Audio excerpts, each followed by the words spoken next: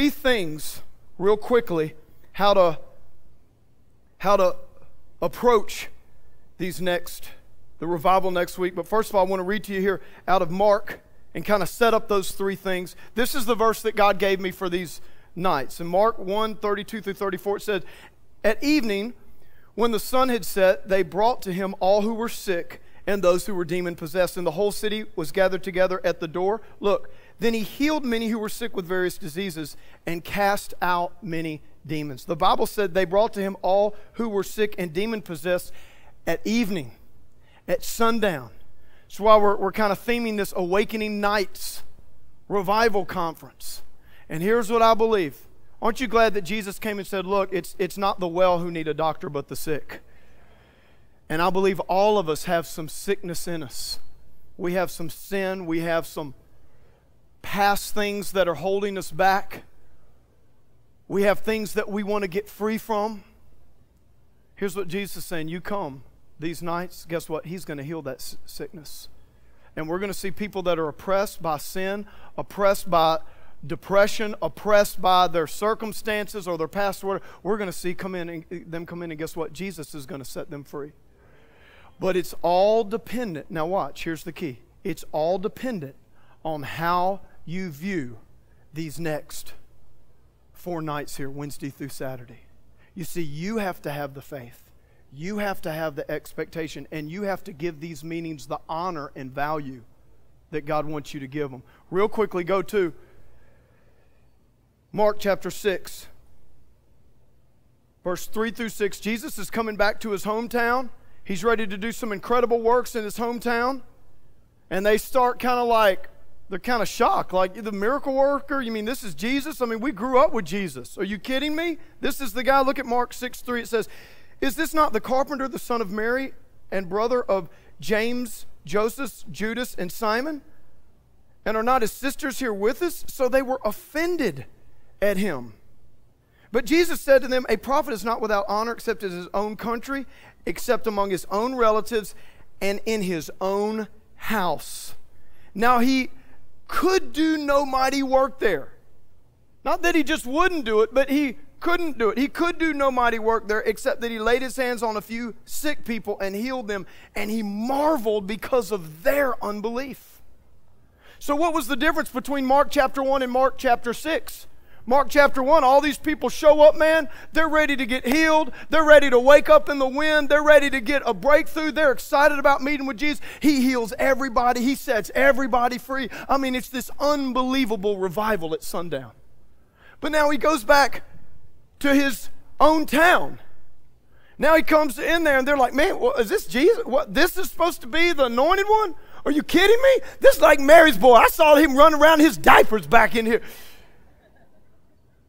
And see, instead of them seeing Jesus as the Son of God, a prophet is without honor except in his own house. This is the house of they were too familiar. And instead of seeing Jesus as the Son of God, they just saw him as old Jesus.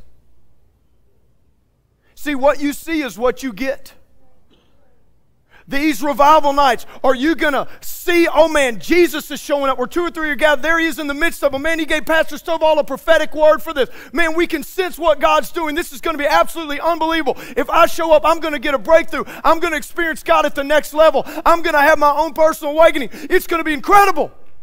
Or are we going to sit at, oh, just another church meeting? I go to celebration all the time. See, what you perceive is what you will receive. God, that's good, Stovall. Could you say that again? Thank, thank you for asking me. Yes. What you perceive is what you will receive. How do you perceive Jesus? Do are we going to honor these nights? You know it was amazing? It was amazing. How many of you watched the State of the Union address a couple of weeks ago? President o- Obama. State of the Union address. Okay, not too many of y'all. But listen, I'm not being political, but here's what I noticed.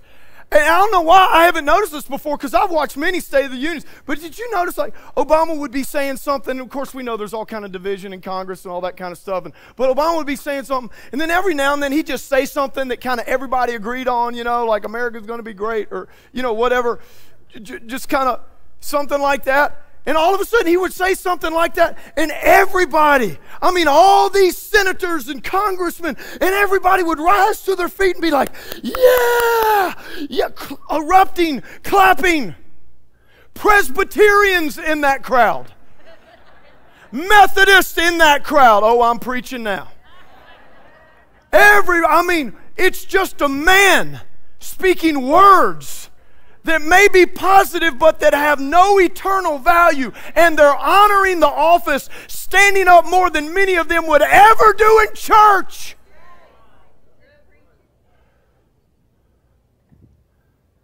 How much more Christ, Son of the living God, when His words come from the pulpit when he speaks to us his eternal word that's able to save our souls. God said, I've set my word above my name. Man doesn't live by bread alone, but by every word that comes from the mouth of God. And people come into God's house and they'll just sit there like, You better entertain me this weekend, Stovall. You better entertain me. And it better be doctrinally right and scripturally right and all that. And you better make me laugh. And you better have all the songs around it that I like. And yet, you old Pharisee. You a bunch of bones, man. You need the breath of God blown in you.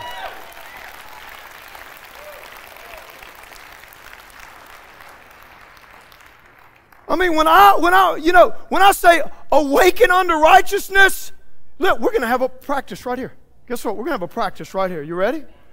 I'm about to say a scripture from the Word of God. It's not man's word, it's God's word. And I'm telling you right, I want this place to look way better than that State of the Union address because we're not just listening to a man. This is not about Republicans, Democrats, Obama, or anything else. You understand what I'm, I'm, saying here? I'm talking about we need to get some honor for God's word and some honor for God's house. I'll just tell you this scripture. For God so loved the world, he gave his only begotten Son. What? What? What? Come on, man. Yes.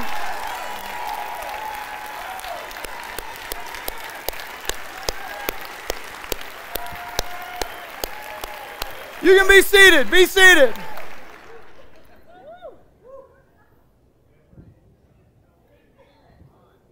that whosoever believeth in him should not perish but have everlasting life. What? What? Hallelujah. Come on, come on, Orange Park. Come on, St. John's. Come on, St. Augustine. Come on, ACHS. Yes, it's God's word, it's not man's word.